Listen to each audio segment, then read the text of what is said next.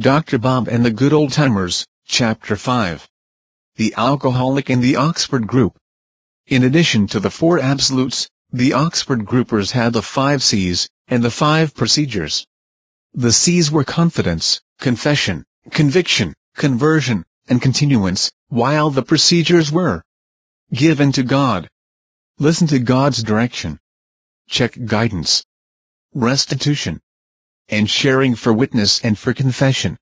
There were slogans as well, study men, not books. Win your argument, lose your man. Give news, not views.